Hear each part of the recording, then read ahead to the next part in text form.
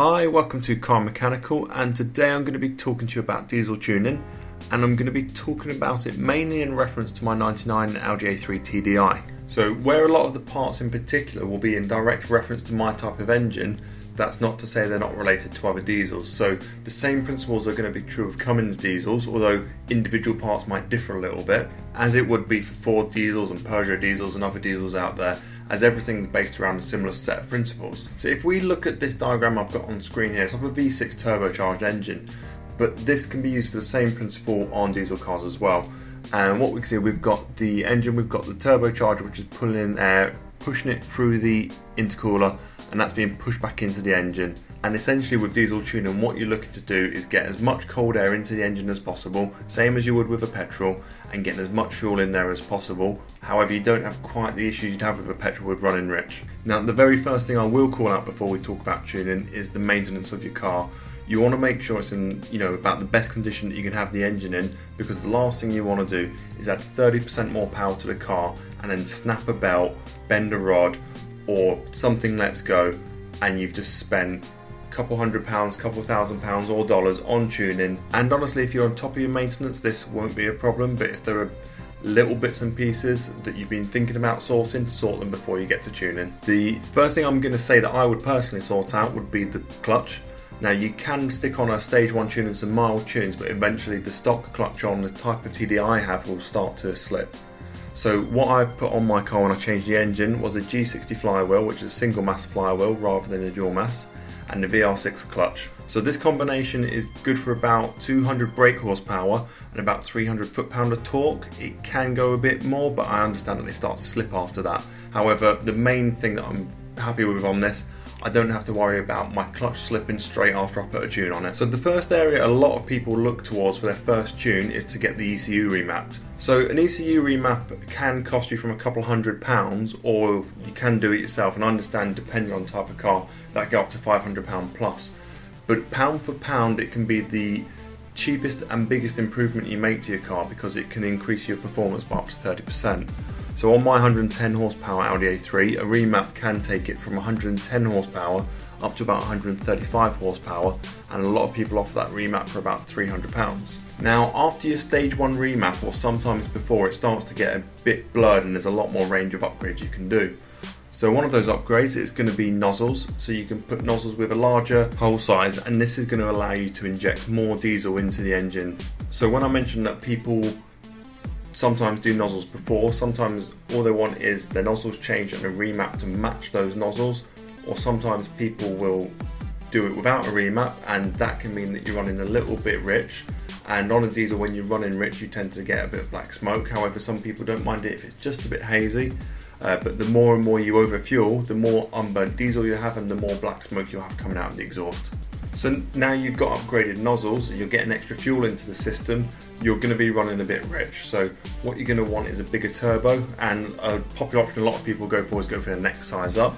So on my car I've got a VNT 15 turbo and the option people go for is the VNT 17 or you move between that so there's one that came from PD130 engines so the VNT 17 is from PD150s but you choose a turbo that's appropriate to the power that you're looking for or you can go right to the other end of the scale and go for stuff like a VNT20 or hybrid turbos, which I'll come to in a bit. So now we've got more fuel going in, we've got more air going in, we need to cool that extra air down because if we look at the stock intercooler on my car, it's tiny. It's also in a fairly tucked up place. Two options here. For my car, luckily, there is actually an uprated side mounted intercooler I can get, which means I can bolt it straight in without having to change any of my piping or any of my fittings and it has twice the volume of air going through it as the stock intercooler. Or the other option, and again, this is based on your power goals and how cool you want everything and how much work you want to do. You can go for a front mounted intercooler, which is going to be placed directly into the airflow and it's going to get as much cold air as possible into the engine. And cold air is more dense air. Dense air means you're going to get more power out of it. So next we're going to have a look at the exhaust. So the stock exhaust on my car is full of quite a few restrictions. There's restrictions in the cap, there's restrictions in the centre silencer, and there's restrictions in the muffler. Now, ideally, you want a straight pipe that comes straight from your turbo and going out the back. That's not possible in all cases, but if you are able to remove the restrictions with a performance exhaust or a straight through on the cap, but maybe not the muffler, These are all things that can help to aid your turbo spool up time and getting as much air and volume through the engine as possible, as quick as possible. Now on my Audi A3, assuming I've done all of these upgrades that I've just spoken about and had it remapped to match the upgrades, I could be looking at 175 to 200 brake horsepower. But what would I then look at next? So the things I would be looking at next, it would be bigger parts and also probably looking at custom engine internals. So I'd be looking at a bigger turbo, I'd be looking at bigger nozzles, I'd be looking at a beefier clutch that could take over 300 foot-pound of torque. I'd probably also be looking at the fuel pump, so I'd be looking at a bigger than the stock 10mm fuel pump and going for an 11mm fuel pump. I'd be looking for the in-tank fuel pump to be a lift pump from the later Pumpe Düse engines. Looking at the engine internals, I'd be looking at stronger conrods, so there's a lot of custom conrods out there that are available. I'd be looking at new pistons, I'd be looking at getting those fitted and you know, potentially having the engine slightly bored out to get the best possible fitting on those pistons. You can also have a look at custom cams.